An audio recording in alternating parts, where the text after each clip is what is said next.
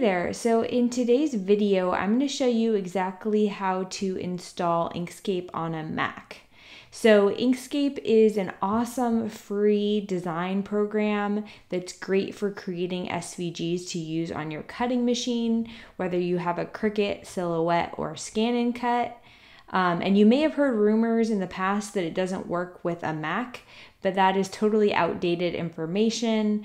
I have a Mac and I use Inkscape every day to design. Um, so I'm going to walk you through step by step how to make sure you get it installed properly on your Mac. And if you have a PC, I will also link below this video how to get it installed on a PC instead. Um, so first of all, if you already have a current version of Inkscape installed on your computer, you'll want to make sure to remove that before you install Inkscape 1.0 or whatever the most current version is at the time that you're installing. So, if you have never installed Inkscape, you can go ahead and fast forward to the timestamp on the screen. If you already have Inkscape installed and you're wanting to upgrade to the most current version, um, then go ahead and locate Inkscape under your applications folder. So you'll come to your Finder in your dock here and then come to applications and find where Inkscape is. And then it's literally as simple as just dragging Inkscape into your trash. And you may need to enter your password and then it'll go ahead and uninstall it. And now you're ready to go ahead and install the most current version. So I will link the most current version that you'll want to download and install um, right below this video. And then when you get to the page, you're simply going to select the Mac option. And it should automatically start downloading. If for some reason it doesn't, there's a little link here that you can go ahead and click to start the download. And then once it has downloaded, just go ahead and double click on the DMG file to open it up.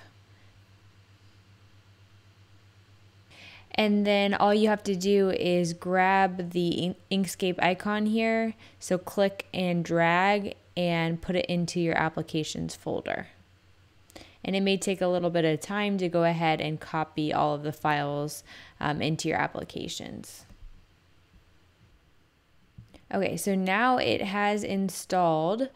So when you go ahead and open your Launchpad on your computer, you should see Inkscape there, and you can go ahead and click it to open it up.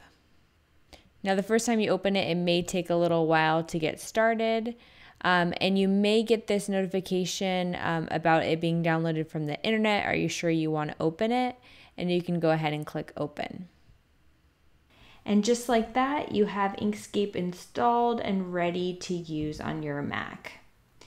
Now, if you're feeling kind of lost and have no idea where to begin with Inkscape, then I highly recommend checking out our free training on how to create SVGs in Inkscape.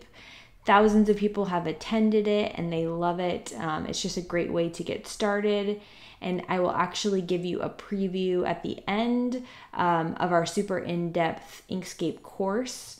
Um, and the only way to get invited to join that is through the free training. So, hope to see you in the training and enjoy designing in Inkscape.